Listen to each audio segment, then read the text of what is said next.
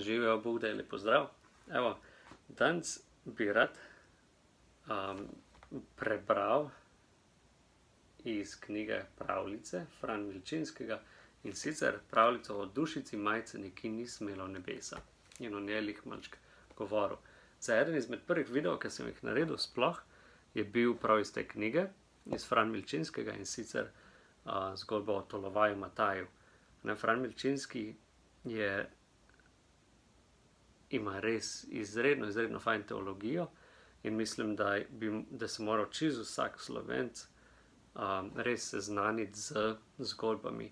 In, in sploh vsem staršem res priporočam, da berete te zgodbe svojim otrokom in da govorite o teh zgodbah, da razmišljate skupaj z otroci, razmišljate o teh zgodbah in o resnicah, o resnicah naše katoliške vere ki so nam v teh zgodbah podane. Ne, ker mislim, da velikrat je otrokom skozi zgodbe, sploh take res dobre, uh, jim je lažje podati pravo vero. Da, če boste potrpeli z mano, da imamo, um, bomo prebrali te štiri strani, je dolga pravljica, tako da ni, ni dolga, pa bomo zraven jih malo pokomentirali. Prejmo začeti, kot se spodob z molitvijo. Oremus, prijatelji. nomine Patris et Filii et Spiritus Sancti. Amen. Pater noster, qui es in Celi, sanctificetur nomen tuum. Adveniat regnum tuum, fiat voluntas tua, sicut in cielo et in terra. Panem nostrum quotidianum da nobis hodie, dimitte nobis de vita nostra. Sicut et nos dimittimus debitoribus nostris, et ne nos inducas in tentationem, sed libera nos a malo. Amen. Ave Maria, gratia plena, Dominus tecum, benedicta tu in mulieribus, et benedictus fructus ventris tui, Iesus. Sancta Maria, Mater Dei, ora pro nobis peccatoribus, nunc et in hora mortis nostre. Amen. Gloria Patri, et Filio, et Spiritui Sancto, sicut erat in principio, et nunc et semper, et in saecula saeculorum. Amen. Nomine Patris, et Filii, et Spiritus Sancti. Amen. Eo, Fran Milcinski, o dušici majceni, ki ni smela v nebesa. Živela je mati, ta mati je imela dva sina, pa se nekaj brida brigala za njo, ker so ji preveč le prazne marnje blodile po glavi. Ni ju učila ne moliti, ne delati. Izpridila sta se in ko sta dorasla, zapustila sta mater in šla med razbojnike. Nikdar več ni slišala o njiju. In dogodi se, da je dobila še tretje dete, hčerko. Nič je ni bila vesela. Mlada sem, rajala piše rada in se smejala, kakor druge, pa bo morala doma tebe čuvati in previjati, kaj te je bilo treba. In preden je zatonil dan, je dete umrlo. Komaj, da je bilo krščeno. Evo tukaj mal pauze, a ne dete je bilo krščeno. Sem imel en video predvsej mesecev nazaj, ko sem govoril o tem, kaj crkev uh, uči oziroma razmišlja o otrokih, otrocih, ki umrejo brez krsta. Tako da si lahko pogledate ta video, bom probo dati uh, link, če se le da. V glavnem to dete je bilo, komaj da je bilo krščeno, je umrlo. Dušica je frfotala po izbi, smuknila je skozi nizko okno, begala je sem ter tja po širnem svetu. Slednica je našla pred nebeškimi vrati. Rahlo je potrkala, pa se je počasi v vratih odprla linica, skozi pogledal nebeški vratar, videl je dušico in je rekel: Dušica majcena, dušica revica, ne smem ti še odpreti. Sodba se glasi tako. Rajska vrata se ti ne odprejo, prej moraš prinesti kanglico čvrste vode, ki izvira izpod hriba na zgor, izpod koščene gore. Dal je kanglico in zaprl lino. Dušica se je žalostno obrnila in odletela in ni vedela ne kam, ne kako. In ko je preletela tisoč mil, je srečala rumeno sonce in ga ogovorila. Holej, holej, sončice, ti hodiš na visoko in siješ na široko. Ali si videlo, povej, ali si videlo, ki je čvrsto voda, ki izvira izpod hriba na zgor, izpod koščene gore? Sonce rumeno jo je pobožalo s svojimi gorkimi žarki in je odgovorilo. Pač hodim na visoko, pač sijem na široko, pa na vesolnem svetu ne poznam takega študenca, kakršnega iščeš ti, dušica majcena. Dušica se je obrnila in iz očest so ji kanile debele solze. Letela je naprej, svojo srebrno kanglico, ni vedela ne kam, ne kako. Slednjič je srečala mladi mesec in ga vprašala: Holej, holej, mladi mesec, ti hodiš na visoko, ti svetiš na široko. Ali si videl, povej, ali si videl, kje je čvrsto vodo, ki izvira izpod hriba na zgor, izpod koščene gore? Mladi mesec je odgovoril in utrnila se mu je zvezda. Dušica, revica, dušica namajcena, jaz ti pomagam. Spusti se po mojem svitu, on ti pokaže pot k studencu čvrste vode, ki izvira izpod hriba na zgor, izpod koščene gore. Dušica se je lepo zahvalila in potolažena se je spustila po milem svitu mladega meseca navzdol na zemljo in skozi nizko okence v majhno kamrico, v kamrico materino. Mati je sedela na skrini, pa ni bila sama. O peči je sedela siva žena, siva žena starost.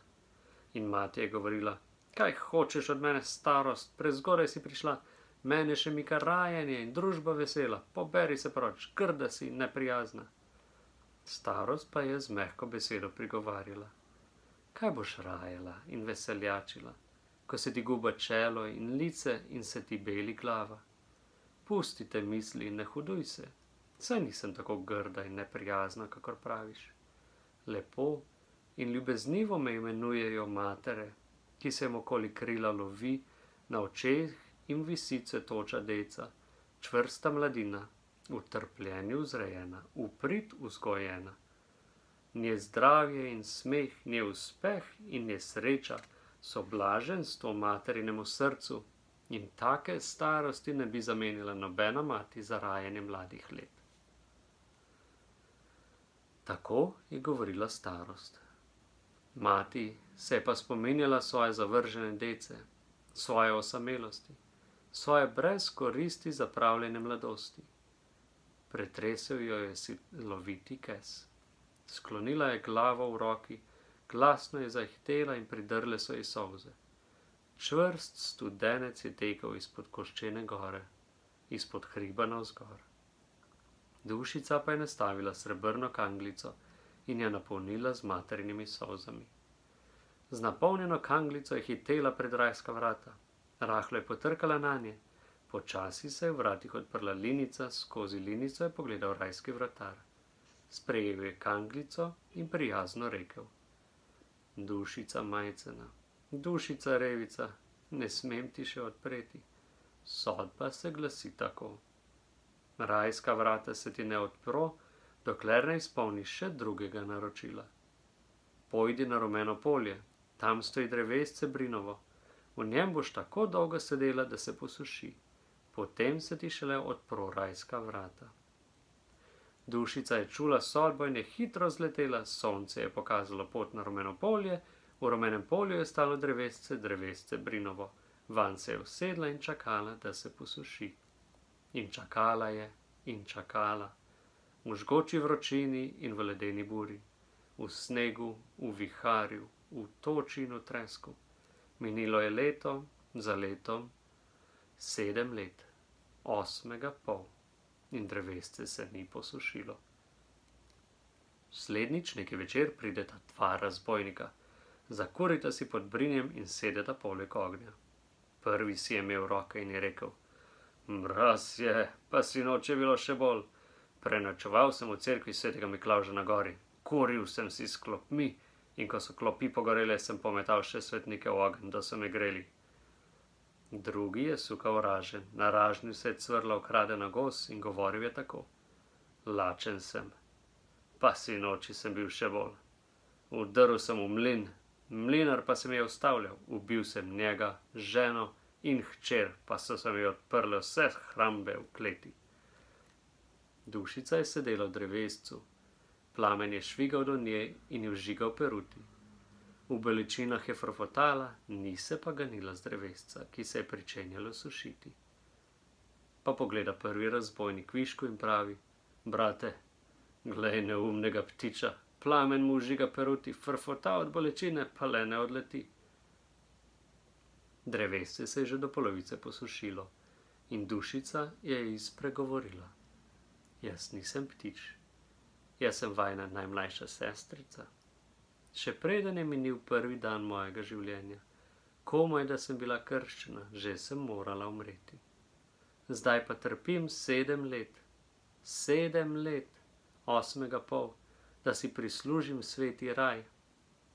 Prej ne smem z tega drevesca, dokler se ne posuši, tako sem sojena. Razbojnika sta se zgrodila po tleh in prvi je rekel: Ti, dušica majcena, ti, sestrica nedolžna, ti si sojena, da trpiš sedem let, osmega pol, da si prislužiš sveti raj. Gori je šele meni, ki sem razbojnik in požigalec. Gori, gori, pekel gori, zame zveličanja več ni. In drugi razbojnik je obupano skliknil: Gori, pregori meni, ki sem razbojnik in morilec. Gori, gori, pekel gori, zame zveličanja več ni.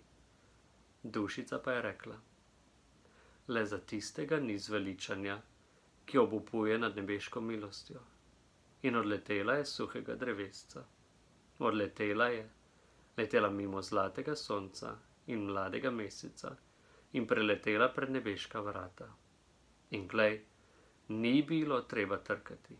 Nebeška vrata so se pred njo kar sama odprla na stežaj, kar same so se žgale neštete lučce, kar same so zapele mogočne orgle in prišel je rajski gospod, prijel jo je za belo roko, jo vedel v raj in rekel: Dušica majcena, dušica revica, saj nisi trpela zase, trpela si za mater in za brata dva.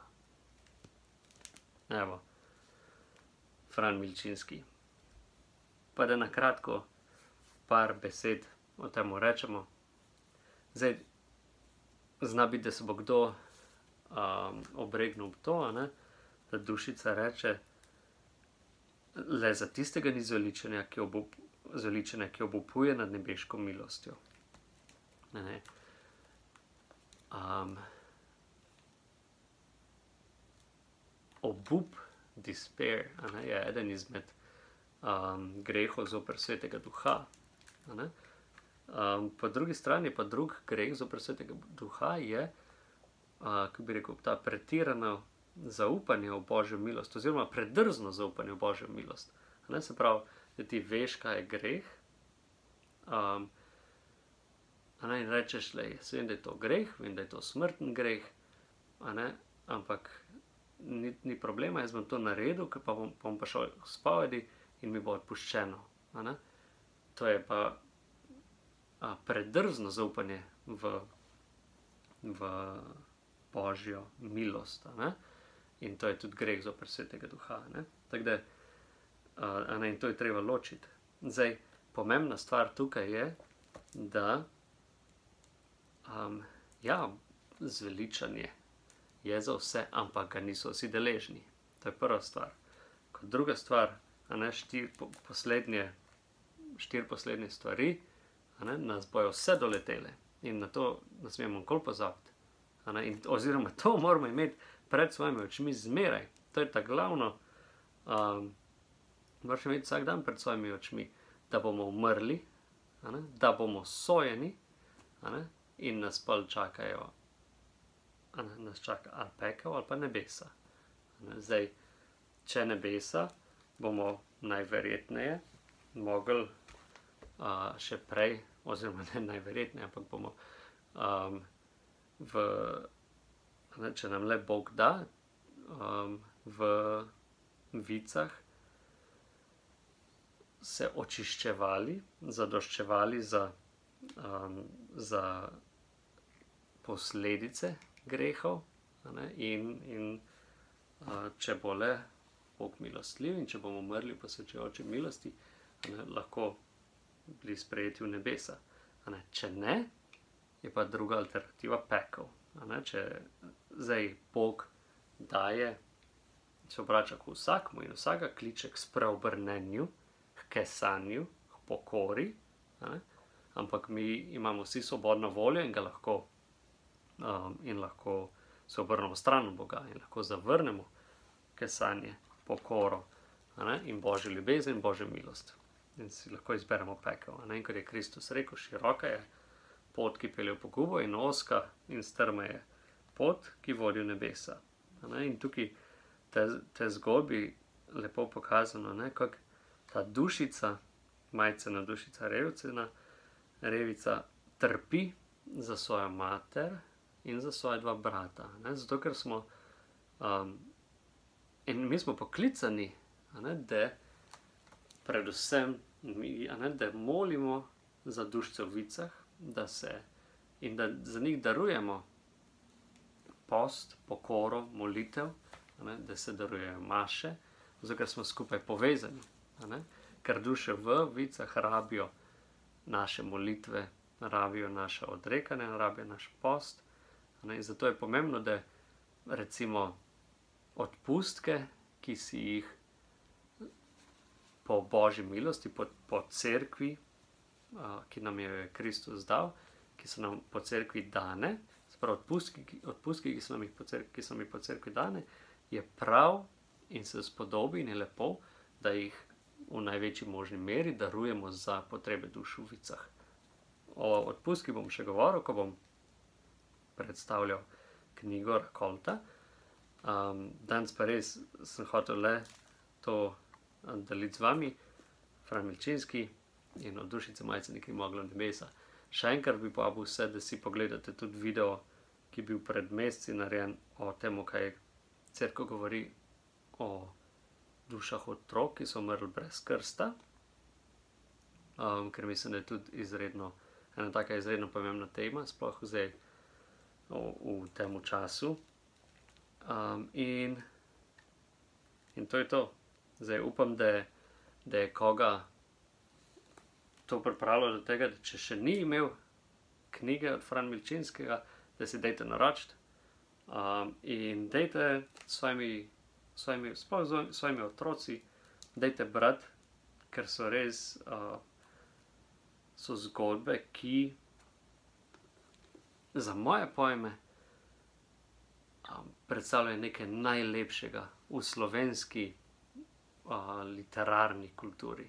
Ne, ne to, kar so nas filali skozi skoz šole, ne same, same socialistične cvetke, ne, ampak res nekaj takega, kar je polno res prave katoliške teologije ne, in, in nas usmerja k dobremu, nas usmerja k Bogu in nas usmerja k temu, da, da bi živeli pravo a, življenje. In, in to je to, kar hočemo svoje otroke naučiti. Da, um, jaz bi to rekel obvezno čtivo za vse družine, za vse starše. Pa dajmo s tem zaključiti um, pa se priporočiti Božji Materi Mariji, Moremus, prijatelji, nomina Patris et Filii et Spiritus Sancti, Amen. Ave Maria, gratia plena Dominus tecum, benedicta tu in mulieribus et benedictus fructus ventris tui, Iesus. Sancta Maria Mater Dei, ora pro nobis peccatoribus, nunc et in hora mortis nostre. Amen. Nomine Patris et Filii et Spiritus Sancti. Amen. Bogdei.